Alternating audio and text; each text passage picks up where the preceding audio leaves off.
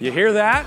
Happy Thursday, everybody. Kicking things off with Mr. 305 because he brought his worldwide talent right here to North Texas. Time for this morning's speed feed. Yeah, Pitbull himself stopped in Dallas for a free concert. We talked yesterday about overpriced concerts.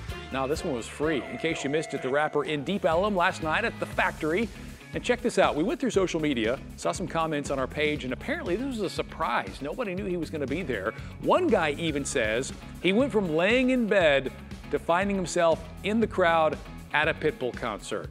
He wasn't the only one. After word got out, a lot of folks packed that place out. According to the tweets that we saw, he performed all the hits and big success. More free concerts, please.